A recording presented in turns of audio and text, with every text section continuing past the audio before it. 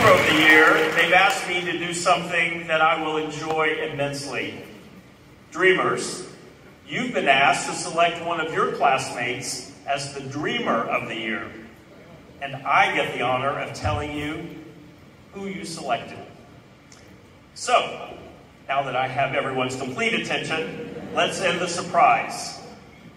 The 2023 Disney Dreamers Academy Dreamer of the Year is Maria Maione.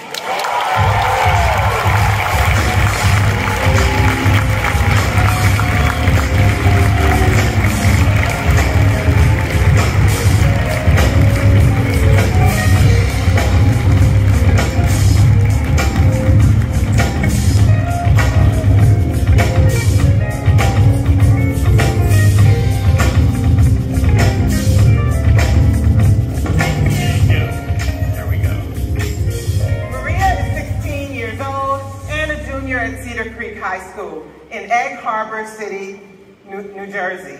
She is enrolled in the engineering program and an AP honors student. Her first language is American Sign Language, and she is passionate about deaf culture, deaf advocacy, and disability rights.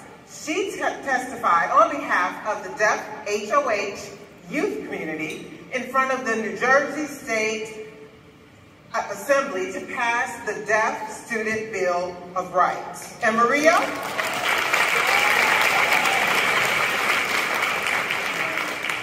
To celebrate your selection, the Walt Disney World family would like to give you, for your family, four tickets for four to a vacation at Walt Disney World.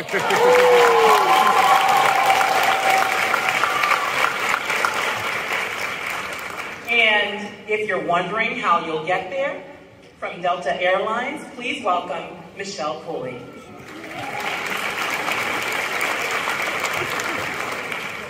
Good morning, dreamers, and congratulations, Maria. Delta is so incredibly excited and proud to be part of the Disney Dreams Academy. We are so excited to be here with you and all of you wonderful, wonderful students and talents. We believe in supporting programs like this that advance people that already have great talent and are just trying to keep climbing. That's what we say at Delta. One other thing we say at Delta is that no one better connects the world. And to connect you to Walt Disney World, Maria, we are going to give you and your family four round trip tickets to come back to Orlando to round out your vacation. How does that sound?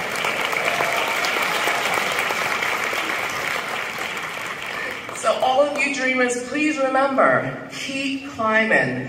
Delta, Disney, and the world needs more dreamers like you. Thank you. Absolutely. Thank you so very much. Let's give it up one more time.